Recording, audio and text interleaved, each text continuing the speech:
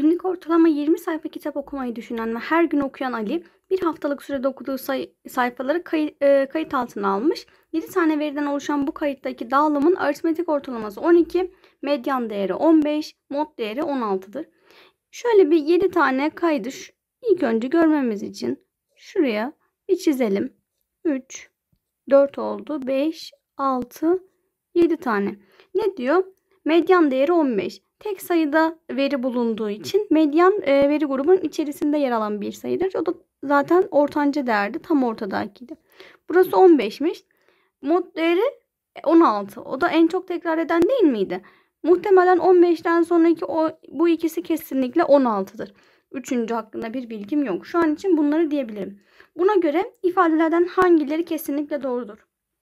Ali bir sayfalık sürede toplamda bir haftalık sürede toplamda okumayı düşündüğü sayfa sayısından 56 sayfa daha az okumuştur.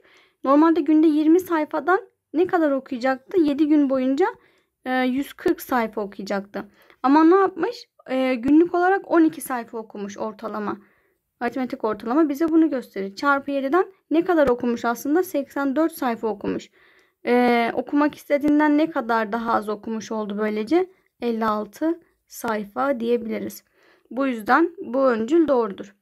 Bu dağılımdaki en küçük 3 verinin toplamı 22'den küçüktür. Ee, küçük müdür? Bir bakalım. Hepsinin 22 olduğunu, buranın toplamının e, 22 olduğunu kabul edelim.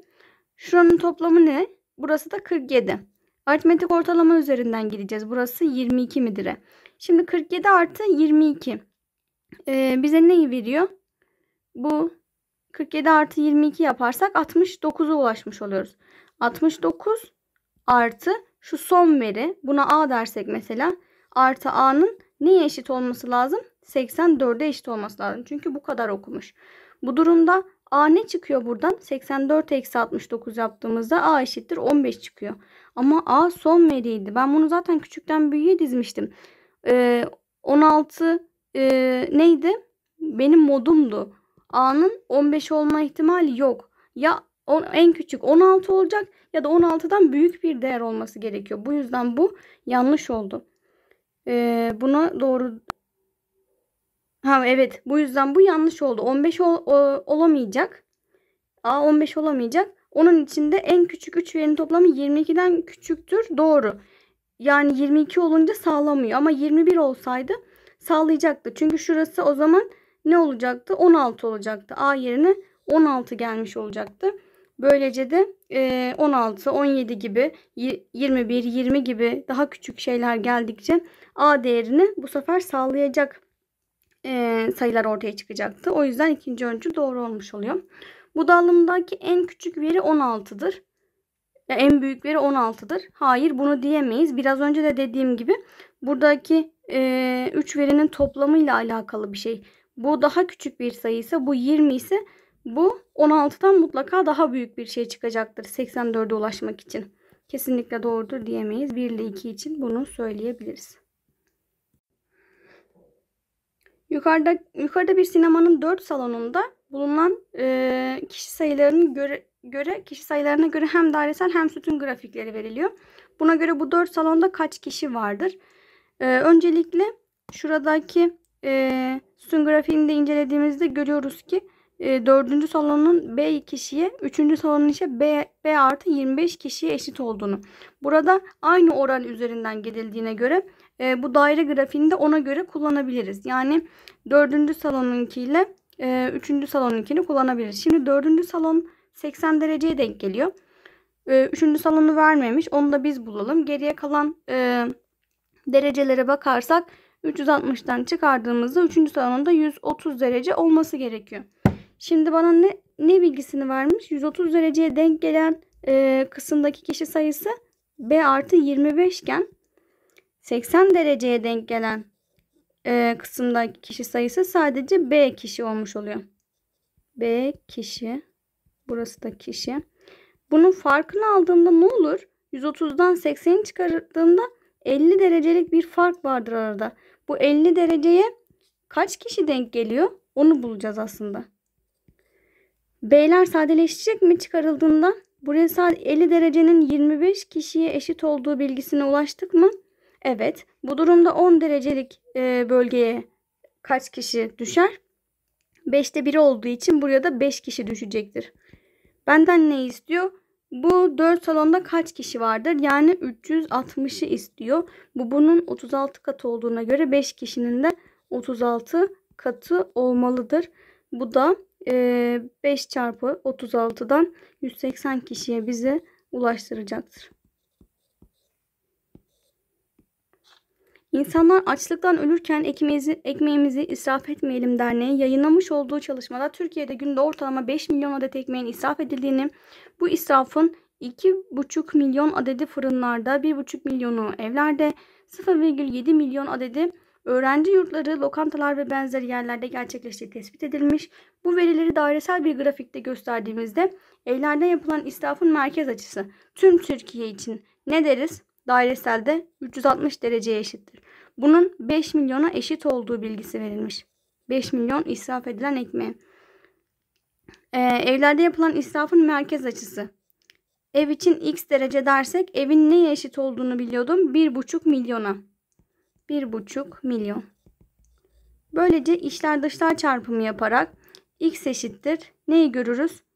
360 çarpı 1,5 bölü 5.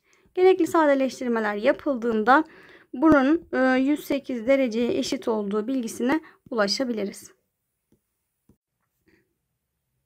Mutfak masrafı ile ilgili e, bilgiler veriliyor burada. Harcama miktarlarının aritmetik ortalaması değişikliğe gidilmeden önce belli ki bir değişiklik yapılmış.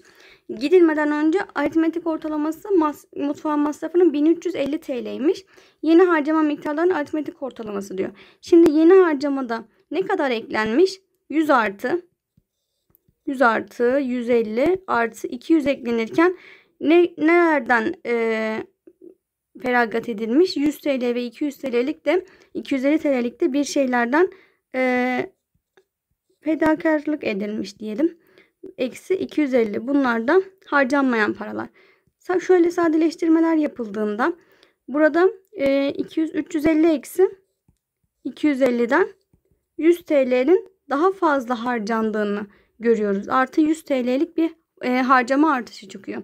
Toplamda 5 tane verim olduğu için 1, 2, 3, 4, 5 şurada yazan kira, eğitim, ulaşım, mutfak ve giyim 5 veri olduğu için bu yüzü de aritmetik ortalamaya eklemek için 5'e bölmem lazım. Böylece aritmetik ortalamayı 20 TL daha arttıran bir veriye ulaşmış oluyorum.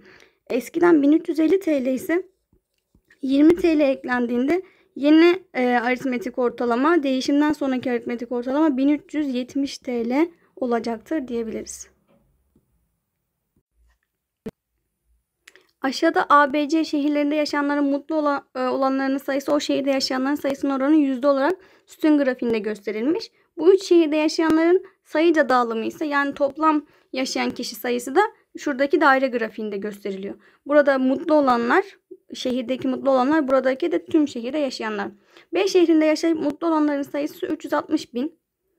C şehrinde yaşayıp mutsuz olanların sayısı 84 e, bin. Buna göre kaç bin kişi A şehrinde yaşamaktadır?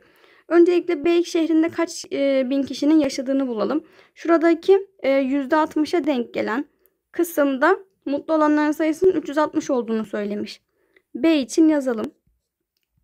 %60'a denk gelen kişi sayısı 360 bin olduğuna göre şu daire grafiğinde %100'e denk geleni bulmam gerekiyor. %100'e gelen x bindir dersem. Buradan içler dışlar çarpımı yapıldığında x'in 600 bine eşit olduğunu görebilirim. O zaman B yerine 600 bin kişi yazabilirim artık daire grafiğinde. Aynı şeyi e, C için de yaptığımda C'nin mutsuz olanlarının sayısı demiş. C'de mutlu olan 80 kişi ise %80 ise mutsuz olan %20'dir. %20'ye denk gelen 84 binmiş. Ben %100'ünü bulmak istiyorum. Yani şu daire grafiğindeki kişi sayısını bulmak istiyorum. Buradan da yine içler dışlar çarpımı yapıldığında e, ya da gerekli oranlar kullanıldığında 420 bine ulaştığımızı görebiliriz. C'de de 420 bin kişi varmış. Şimdi A'yı bulmam için e, şu daire grafiği üzerinden gitmem lazım. A'daki kişi sayısını nasıl bulurum? 270 e, şu A'nın derecesi 90 dereceye denk geliyor ya geriye kalan 270 derecelik bir pay var. Bu 270 dereceye kaç kişi düşüyor? 600 artı 420 bin. Bu da ne yapıyor? 1 milyon 20 bin gibi bir rakam yapıyor. Ee, şöyle göstersem. 1 milyon 20 bin oluyor. Buradaki e, benim amacım A'yı bulmak. Yani 90 dereceye denk geleni bulmak. Buna da A kişi dersek. Burada da e, içler dışlar çarpımı yapıldığında A'nın 340 bine eşit olduğunu görebiliriz. Şimdi e, A şehrinde yaşamaktan mutlu olanları soruyor ya bana. Buraya gelelim hemen. E, 90 dereceye yani tamamını aslında %100'üne kaç kişi dedik? 340 bin kişi. 340 bin kişi e, A şehrinin %100'ünü oluşturuyor. Peki benden neyi bulmamı istiyor? Buradaki mutlu olanların kişisini, kişi sayısını. Ee, A, kaç kişisi? %69'u da mutlu olanmış. Buna da x e, bin diyebiliriz. Yine buradaki işler dışlar çarpımı yapıldığında x'in e, 234,6'ya eşit olduğunu e, görebiliriz.